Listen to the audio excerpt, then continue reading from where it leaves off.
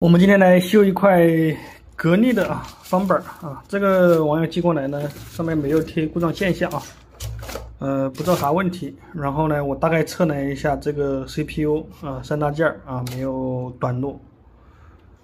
那么我们现在只能上电来测一下，看看检测仪报什么故障。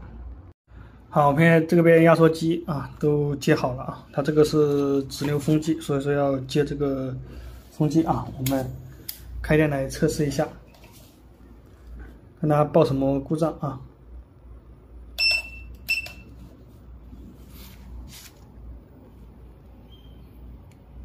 好，首先通讯是没问题的啊，我们直接来开机啊。它这个带电子膨胀阀的，带电子膨胀阀的要稍微等一会儿。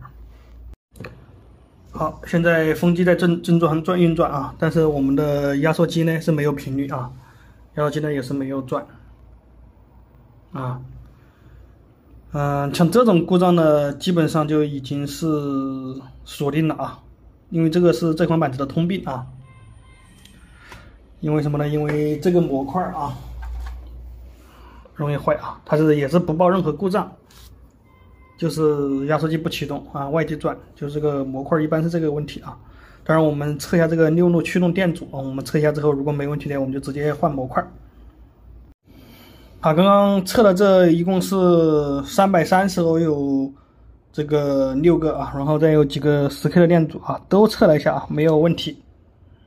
嗯，然后这边的相电流啊，包括这个一点六五伏都测了没问题啊。压缩机不启动的话啊，不报故障，那我们就是直接呃拆模块了啊。嗯，然后这个模块拆呢，首先呢给它把这个引脚上面呢，嗯。上点这个焊锡丝啊，有铅的这个焊锡丝，然后涂点这个焊油啊。这个之前给大家说过，就是这个呃安泰性的这种焊油啊，它有助于这个锡的融化啊，助于锡的流动性。然后呢，用吸吸器啊，我就用的这种吸吸器啊，也是安泰性的啊，因为这个价格也不高啊，而且用的还可以，还觉得比较好用，吸力比较大啊。用这个吸气，用烙铁烫的话啊，烫的话呢，把这个引脚的适当的多烫一会儿，因为它这个引脚两边都有吸啊，要保证这个电路板的另外一边的这个锡融化之后，再用这个吸气去吸，那么才吸得干净啊。好，这个吸空之后啊，就是这个样子啊。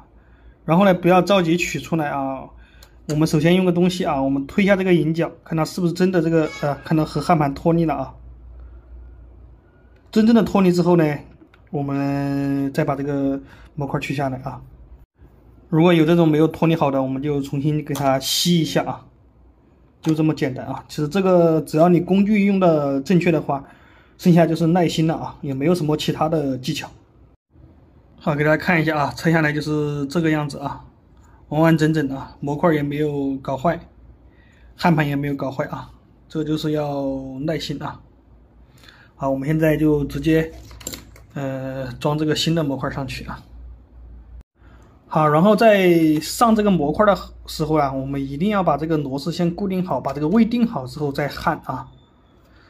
嗯，包括我们换这边的三大件也啊，所以说经常有网友，呃，修这个东西啊，修这个板子，有的只单独寄这个板子来，我说最好是不要这样寄啊，把这个壳子。和这个散热片寄过来。假如说这个三大件坏了之后更换的话，需要先定位啊，不然的话我在这边装上去，你回去可能装这个散热片的话，这个螺丝孔可能是歪的啊，也有可能这个呃引脚的长短不一样，到时候你装上去会影响使用的啊。好，现在我们固定好，直接把它装上，呃焊上，焊上我们就直接来试机。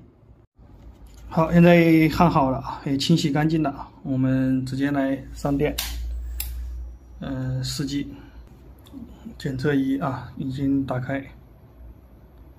好，我们直接启动。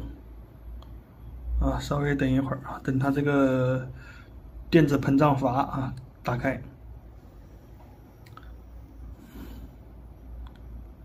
一般的带这种电子膨胀阀的这个空调的话啊，都是稍微好一点的啊。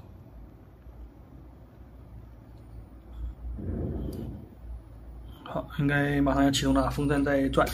好，压缩机启动了啊，这就解决了啊。啊，现在这个频率都有了啊，全正常啊。